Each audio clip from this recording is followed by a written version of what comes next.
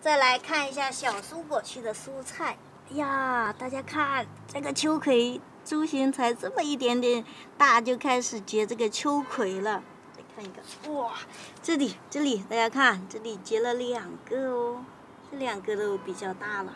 这个秋葵是很好种的。哎呀，这个韭菜稀稀拉拉的，主要是它，主要是我天天都来掰掰它吃，所以它都长得都没那么茂盛了。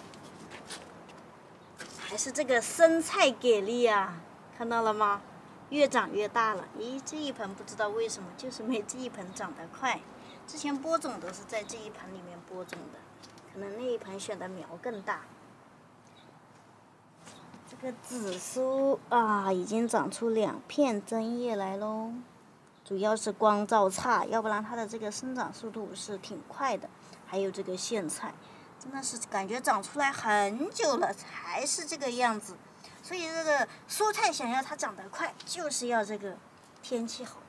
后面种的这个草莓都开花了，啊，还有这里，哇，这里有两朵，哇，这里面的马上就会长出很多来了。再来多肉区看一下，这些肉肉大部分都是长得比较慢的，除了这几个，哇，长得真的是好快。我这个长寿花花朵已经开败了，现在给它剪掉去。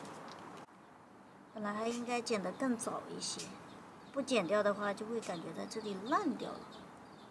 这个花剑其实剪下来是很好扦插的，之前这一盆就是用这个花剑剪下来扦插的。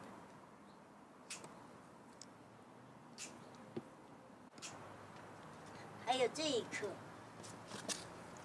这个长寿花花后修剪是比较重要的一件事情，因为它会直接影响到第二年的开花。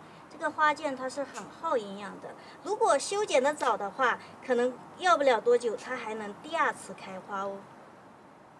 像我的这一个刚刚还开着花，大家看到没？新长出来的这个叶片又开始孕育了花蕾出来了。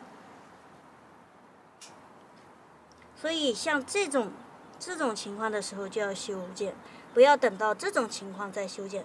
不过我这里是因为淋到雨了，它会看起来会更惨一些。其实这个时候剪还是比较合时宜的，因为它底下的话还是比较的绿。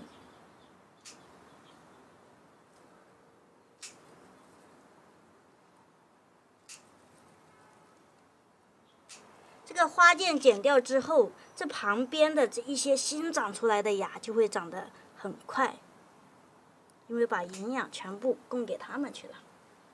OK，搞定。